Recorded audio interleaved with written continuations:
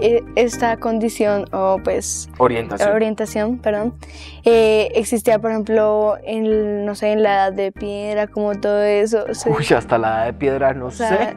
Pues yo sé que nadie sabe eso, pero me refiero a si se ha hecho estudios como que la- en esa época como no se definía o Mira, muy chévere que me preguntes eso porque en, todas las, en, en todos los momentos de la historia de la humanidad siempre ha habido personas que le gustan y se sienten atraídas por personas del mismo sexo. Hay un montón de historia escrita de eso. Hay un libro muy chévere que se llama Una historia natural de la homosexualidad que explica los diferentes momentos en la historia de la humanidad en donde se entendía la atracción por personas del mismo sexo de diferentes formas. No siempre ha sido igual.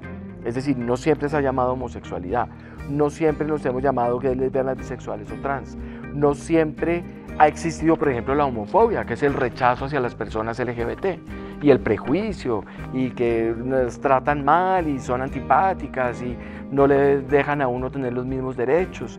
Entonces, siempre ha existido con diferentes nombres, con diferentes manifestaciones en diferentes momentos, y siempre se ha entendido de una forma particular tocaría ver en qué momento de la historia sería chévere que pudiéramos encontrar algo de la edad de piedra, por ejemplo. desde el nacimiento de una persona ya está definida su sexualidad. No, desde el nacimiento de una persona no está definida su sexualidad.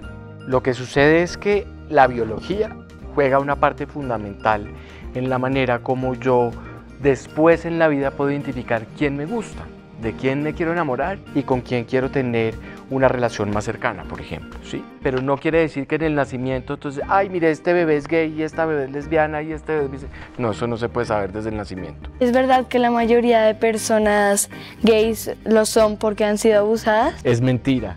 El abuso no tiene nada que ver con que a uno le gusten las personas del mismo sexo. Lo que pasa es que ahí también hay otra cantidad de explicaciones que ha tratado de darle la gente a esto. Y es, por ejemplo, que la homosexualidad era una enfermedad. Entonces, cuando uno piensa en enfermedad, piensa en que se contagia, en que se pega, como la gripa. Entonces piensan que si alguien abusa de alguien, entonces le va a pegar la homosexualidad. Pero eso no es cierto. El abuso no tiene nada que ver con que a alguien le guste una persona de su mismo sexo. ¿Sabes qué sí pasa, Antonia? Que muchas personas, dicho, seres, seres humanos que tienen probablemente, eh, están locos o son muy malas personas, sí abusan de los niños y de las niñas. Pero no necesariamente al niño o a la niña que abusa a alguien se convierte en homosexual.